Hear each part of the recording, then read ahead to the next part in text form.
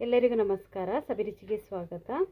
ನಾನಿವತ್ತು chicken leg piece fry ಮಾಡ್ತಾ ಇದ್ದೀನಿ. ತುಂಬಾ ಚೆನ್ನಾಗಿರುತ್ತೆ.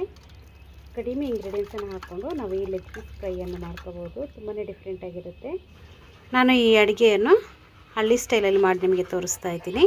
ಬನ್ನಿ, ಇದನ್ನು ಹೇಗೆ ಮಾಡೋದು ಅಂತ ನೋಡೋಣ. ಅದಕ್ಕಿಂತ ಮುಂಚೆ ನೀವು ನಮ್ಮ ಚಾನಲ್ಗೆ ಹೊಸಬರಾಗಿದ್ದರೆ ಇವಾಗಲೇ ನೀವು ಸಬ್ಸ್ಕ್ರೈಬ್ ಮಾಡಿ, ಪಕ್ಕದಲ್ಲಿರುವ ಬೆಲ್ ಐಕನನ್ನು ಕೂಡ ಪ್ರೆಸ್ ಮಾಡಿ. ಅದೇಗೆ ಮಾಡೋದು ಅಂತ ನೋಡೋಣ.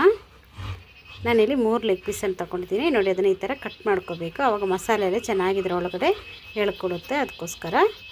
ನೋಡಿ, ಈ ಥರ ಕಟ್ ಮಾಡ್ಕೊಂಡಿದ್ದೀನಿ. ಇವಾಗ ನಾನಿಲ್ಲಿ ಇಲ್ಲಿ ಜೀರಿಗೆ ಮೆಣಸಿನ್ಕಾಯಿನ ತೊಗೊಂಡಿದ್ದೀನಿ. ಮನೆ ಹತ್ರನೇ ಇರೋದ್ರಿಂದ ನಾನು ಇದನ್ನೇ ಉಪಯೋಗಿಸ್ಕೊಳ್ತಾ ಇದ್ದೀನಿ. ಈ ಮೆಣಸಿನ್ಕಾಯಿ ನಿಮಗೆ ಸಿಕ್ಕಿಲ್ಲ ಅಂದರೆ ನೀವು ಮಾಮೂಲಿ ಹಸಿಮೆಣ್ಸಿನ್ಕಾಯಿ ಇರುತ್ತೆ ನೋಡಿ, ಅದನ್ನೇ ನೀವು ಉಪಯೋಗಿಸ್ಕೋಬೋದು. ಈ ಮೆಣಸಿನ್ಕಾಯಿನ ಹಾಕೋದ್ರಿಂದ ಟೇಸ್ಟ್ ಕೂಡ ತುಂಬಾ ಚೆನ್ನಾಗಿರುತ್ತೆ. ಇಲ್ಲಿ ನಾನೊಂದು ಐದರಿಂದ ಆರು ಎಸಳು ಬೆಳ್ಳುಳ್ಳಿಯನ್ನು ಹಾಕ್ಕೊಂಡಿದ್ದೀನಿ ಒಂದು ಎರಡು ಇಂಚ್ ಆಗುವಷ್ಟು ಶುಂಠಿ ಹಾಕ್ಕೊಂಡಿದ್ದೀನಿ ಇವಾಗ ನಾನಿಲ್ಲಿ ಖಾರಕ್ಕೆ ಮೆಣಸಿನ್ಕಾಯಿನ ಕಿತ್ಕೊಂಡಿದ್ದೀನಲ್ಲ, ಅದನ್ನು ಕೂಡ ಹಾಕ್ಕೊಳ್ತಾ ಇದ್ದೀನಿ.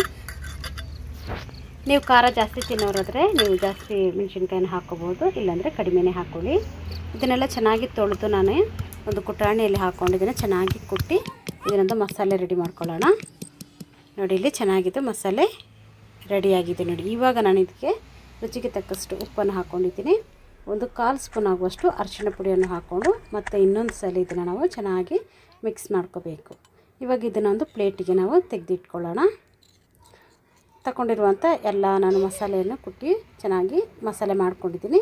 ಇದ್ರ ಜೊತೆಗೇ ಒಂದು ಅರ್ಧ ನಿಂಬೆಹಣ್ಣನ್ನು ಕೂಡ ನಾನಿಲ್ಲಿ ಹಿಂಡ್ಕೊಳ್ತಾ ಇದ್ದೀನಿ. ಇದರ ನಿಂಬೆಹಣ್ಣಿನ ಬೀಜ ಇದೆ ನೋಡಿ, ಅದನ್ನೆಲ್ಲ ಕ್ಲೀನಾಗಿ ನಾವು ತೆಕ್ಕೊಂಬಿಡಬೇಕು. ಬೀಜ ಹಾಕ್ಕೋಬೇಡಿ ತುಂಬಾ ಚೆನ್ನಾಗಿರುತ್ತೆ. ಇದು ನಿಂಬೆಹಣ್ಣನ್ನು ಹಾಕ್ಕೊಂಡು ಚೆನ್ನಾಗಿ ಇದನ್ನು ಮಿಕ್ಸ್ ಮಾಡ್ಕೋಬೇಕು. ಮಿಕ್ಸ್ ಮಾಡಿಕೊಂಡು ನಾವು ಲೆಗ್ ಪೀಸ್ ತಗೊಂಡಿದ್ದೀವಲ್ಲ, ಅದಕ್ಕೆ ಚೆನ್ನಾಗಿ ಇದನ್ನು ಸವರ್ಕೊಳ್ಳೋಣ.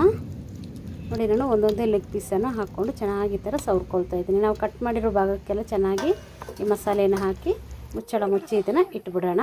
ಮಸಾಲೆ ಎಲ್ಲ ಹಾಕಿ ಒಂದು ಎರಡು ಗಂಟೆ ಆದರೂ ಇದನ್ನು ಹಾಗೆ ಇಟ್ಬಿಡಿ, ಅವಾಗ ಚೆನ್ನಾಗಿ ಉಪ್ಪು, ಖಾರ ಎಲ್ಲ ಹೆಳ್ದಿರುತ್ತೆ.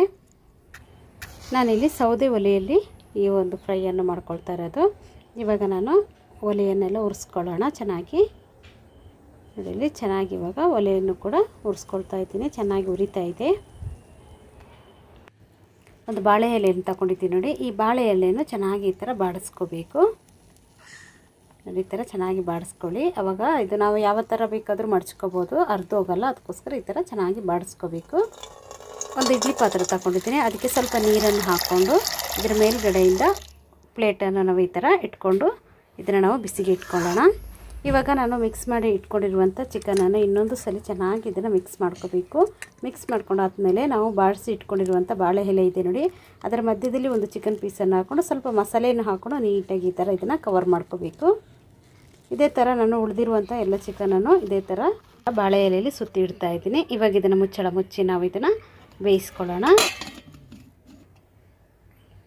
ಒಂದು ಕಾಲು ಗಂಟೆ ನಾವು ಇದನ್ನು ಚೆನ್ನಾಗಿ ಈ ಥರನೇ ಬೇಯಿಸ್ಕೋಬೇಕು. ನೋಡಿ ಇಲ್ಲಿ ಇವಾಗ ಒಂದು ಕಾಲು ಗಂಟೆ ಚೆನ್ನಾಗಿ ಬೆಂದಿದೆ. ನೋಡಿ ಇವಾಗ ಇದನ್ನು ಇಳಿಸ್ಕೊಳ್ಳೋಣ. ಇವಾಗ ಇನ್ನೊಂದು ಮಣ್ಣಿನ ಪಾತ್ರೆಯನ್ನು ತೊಗೊಂಡಿದ್ದೀನಿ. ಇದನ್ನು ಇವಾಗ ಚೆನ್ನಾಗಿ ಬಿಸಿ ಮಾಡ್ಕೊಳ್ಳೋಣ. ಚೆನ್ನಾಗಿ ಬಿಸಿ ಆದಮೇಲೆ ಇದಕ್ಕೆ ನಾನು ಒಂದು ಎರಡು ಸ್ಪೂನ್ ಆಗುವಷ್ಟು ಎಣ್ಣೆಯನ್ನು ಹಾಕೋಬೇಕು. ಎಣ್ಣೆಯನ್ನು ಹಾಕ್ಕೊಂಡು ನಾವು ಬೇಯಿಸಿ ಇಟ್ಕೊಂಡಿರುವಂಥ ಈ ಚಿಕನ್ ಪೀಸ್ ಇದೆ ನೋಡಿ, ಅದನ್ನು ನಾವು ಬಾಳೆಯಲ್ಲಿ ಸಮೇತ ನಾವು ಇದನ್ನು ಎಣ್ಣೆಯಲ್ಲಿ ಫ್ರೈ ಮಾಡ್ಕೋಬೇಕು. ನೋಡಿ, ಈ ಥರ ಚೆನ್ನಾಗಿದೆ ಫ್ರೈ ಆಗಬೇಕು ಇವಾಗ ಇದನ್ನು ಮುಚ್ಚಳ ಮುಚ್ಚಿ ನಾವು ಇದನ್ನು ಫ್ರೈ ಮಾಡ್ಕೊಳ್ಳೋಣ. ಇವಾಗ ನೋಡಿ, ಮುಚ್ಚಳ ಮುಚ್ಚಿ ಇದನ್ನು ಫ್ರೈ ಮಾಡ್ಕೊಳ್ತಾ ಇದ್ದೀನಿ. ಇವಾಗ ಒಂದು ಸೈಡ್ ಫ್ರೈ ಆಗಿದೆ ನೋಡಿ. ಇವಾಗ ಇನ್ನೊಂದು ಸೈಡ್ ಇದನ್ನು ನಾವು ತಿರುಗಿಸಿ ಫ್ರೈ ಮಾಡ್ಕೋಬೇಕು. ಬಾಳೆ ಎಲೆ ಕಲರ್ ಪೂರ್ತಿ ಚೇಂಜ್ ಆಗಬೇಕು. ಅಷ್ಟರವರೆಗೆ ನಾವು ಇದನ್ನು ಫ್ರೈ ಮಾಡಿಕೊಂಡ್ರೆ ಸಾಕು. ಒಂದು ಹತ್ತು ನಿಮಿಷ ನಾವು ಈ ಥರ ಫ್ರೈ ಮಾಡಿಕೊಂಡ್ರೆ ಇದು ಚೆನ್ನಾಗಿ ಬೆಂದಿರುತ್ತೆ. ನೋಡಿ ಇವಾಗ ಬಾಳೆ ಎಲೆ ಪೂರ್ತಿ ಕಲರ್ ಚೇಂಜ್ ಆಗಿದೆ. ಇವಾಗ ನೋಡಿ ಬಾಳೆ ಎಲೆದು ಕಲರ್ ಎಲ್ಲ ಚೇಂಜ್ ಆಗಿದೆ. ಇವಾಗ ಇದನ್ನು ತೆಗೆದು ನೋಡೋಣ ಹೇಗಾಗಿದೆ ಅಂತ. ನಾನು ಇದನ್ನು ಬಾಳೆ ಎಲೆಗೆ ಹಾಕ್ಕೊಳ್ತಾ ಇದ್ದೀನಿ. ಹಾಕ್ಕೊಂಡು ನೋಡೋಣ ಹೇಗಾಗಿದೆ ಅಂತ. ತುಂಬಾ ಬಿಸಿ ಇದೆ. ನೋಡಿ ಇದನ್ನು ಓಪನ್ ಮಾಡ್ತೀನಿ. ತುಂಬಾ ಸಾಫ್ಟಾಗಿರುತ್ತೆ ಇದು. ತುಂಬಾ ರುಚಿ ಅಂತೂ ತುಂಬಾ ಚೆನ್ನಾಗಿರುತ್ತೆ. ನಾನು ಮಾಡಿರುವಂಥ ಈ ಡಿಫ್ರೆಂಟ್ ಆಗಿರುವಂಥ ಚಿಕನ್ ಲೆಗ್ ಪೀಸ್ ಫ್ರೈ ನಿಮಗೆ ಇಷ್ಟ ಆಯಿತು ಅಂದರೆ ಒಂದು ಲೈಕ್ ಮಾಡಿ, ಶೇರ್ ಮಾಡಿ, ಸಬ್ಸ್ಕ್ರೈಬ್ ಮಾಡಿ. ವಿಡಿಯೋ ನೋಡಿದ್ದಕ್ಕಾಗಿ ಧನ್ಯವಾದಗಳು. ನಾನು ಸಬಿ.